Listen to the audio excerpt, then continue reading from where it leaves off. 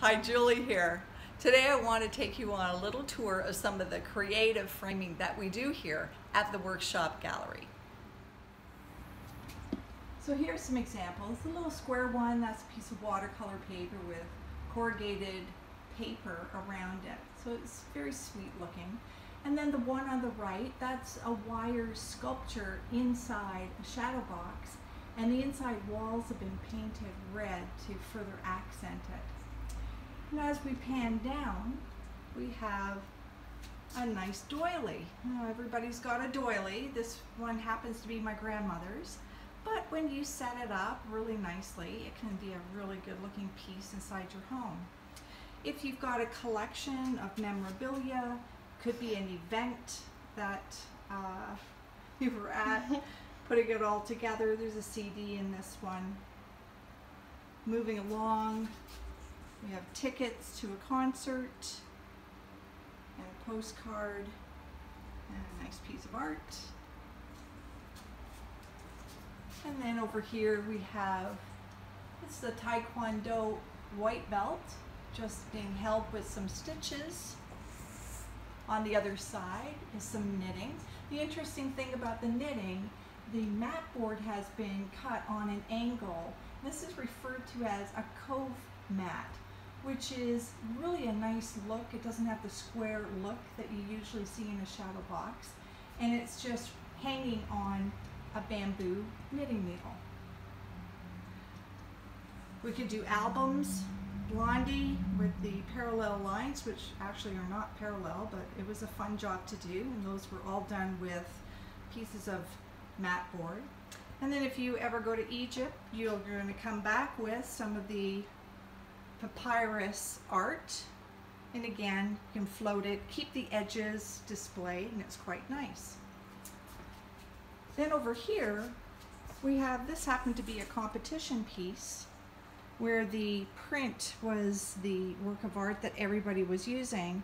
And this has French lines and a pastel panel. So if you look a little closer, those are all hand painted and those get done based on the artwork and the color and I really mix the colors as I go. So again, we can have a lot of fun with shadow boxes. This was a deck of cards that were given out as the competition project. So I put in a nice hand. And the interesting thing about this one, the hand of cards, that's actually glued to a piece of art glass, which is installed on an angle. It's got a partial cove mat with the printed background and there's one, two, three frames in this one. And then of course, you know, the dog did it. So here's a chewed up book, bad glasses, the culprit in the picture featured. And again, it's just a fun way of putting things together that normally you would throw out, but now it becomes an interesting story to tell on your wall. Another competition piece, uh, knife, fork, and spoon put together and just made it a little bit more of a symbol. There's a mirror on the background. This is why we're getting a lot of reflection. But there's also several stacked mat boards in there. So this one is a full sheet of watercolor paper. The edges have been hand torn to give a deckled effect. It's floating inside. Beautiful frame. Everything you can see really pulls this piece together.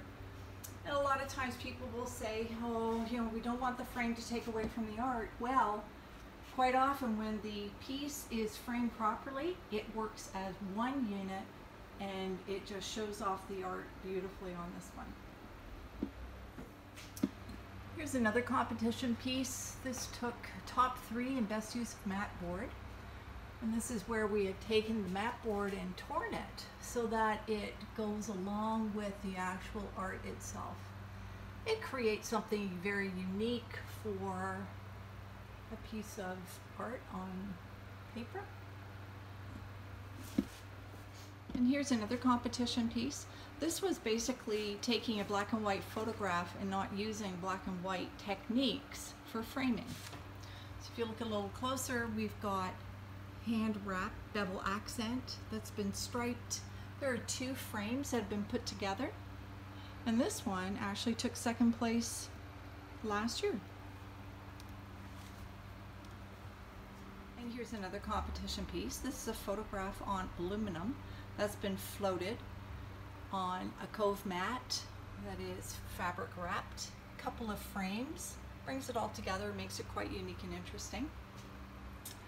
This one, and I apologize for the glare, I do have samples in the shop that have regular glass so you can see the difference between art glass and regular glass.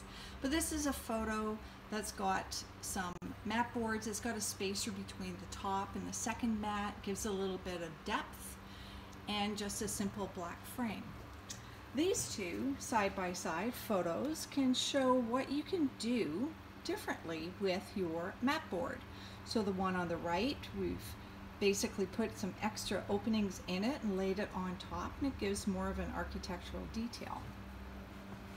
The white bird, this is a canvas board. Quite often it's very difficult to float these in a traditional sense that you would with a stretch canvas.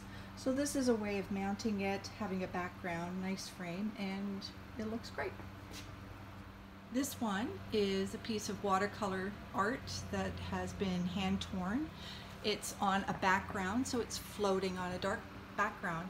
It's got a double mat, and the double mat it has a reverse bevel, so you don't see the white core. It's done on a backward angle, which gives it some depth without adding the attention of a white line. And another watercolor here, double mat, but you can see the bottom weight, it's quite substantial on this piece. And of course, it's always fun to do old photographs this photograph was actually restored, which is one of the services that we do provide. It was quite yellowed. There were some people in the background that were removed. But with the black core around it and the French lines, and it's quite an elaborate frame, and yet it does work. And jerseys. Yes, we can do lots of jerseys. This is a very simple one with the mat board. It's been stitched down this one has art glass, but out of our Jersey special, this is what you can get for $350. And here is a technique that is a little bit different than the basic. This has a double bevel accent in accenting colors that go with the jersey itself.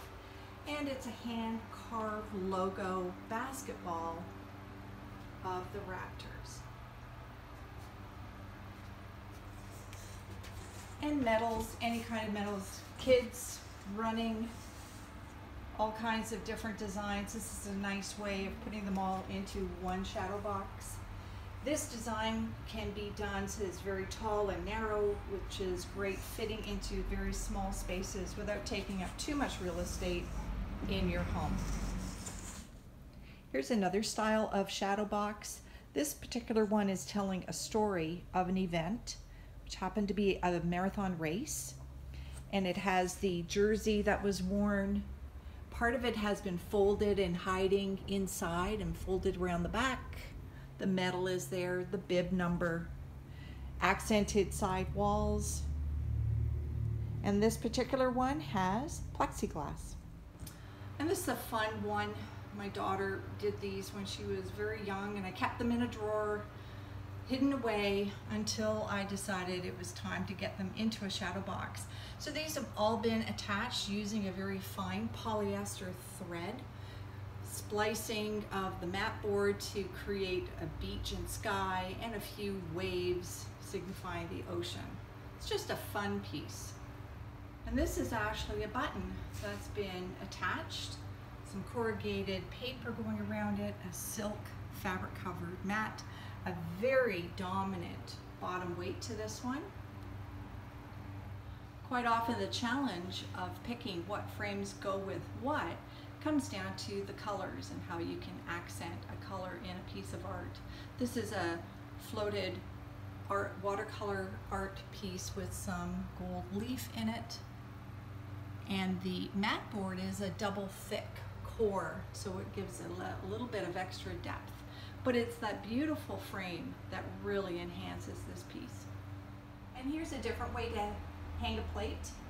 It's in a shadow box, it's held in very nicely, it's got plastic clips holding it in place and not metal, so it should do no harm to those edges. And here's a drawing that is floating. Again, this was taken out of a uh, sketchbook in a very, very simple frame that really looks nice. And of course, Cumberbatch doesn't look too bad either. So as you can see, we do have a lot of creativity here. So bring your things in, let us have a look at them, and we'll see what we can do together.